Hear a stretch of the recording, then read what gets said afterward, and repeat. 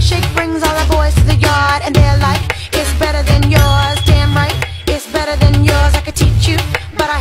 This is a new milkshake by Beekman 1802. For starters, it's an alcohol-free facial toner, but it also functions as a hydrating mist and a setting spray. It's multifunctional, but that's not it. It has hyaluronic acid and squalene, and it is supposed to minimize pores, hydrate, and smooth the skin. Take a look at this product. I have never seen anything like this in my life. This looks very cool. First, you're supposed to shake it and then spray it. I love products that have more than one purpose, so I feel like I get a little more bang for my buck. I've been trying this out for a few weeks now. It really does make my skin feel super hydrated. Now, for me, I do it as the first step of my skincare routine. Like, y'all, I just wake up and I'm like, ooh, ooh, ooh, yes, let's wake up. And then I'll do my makeup and use it as a setting spray.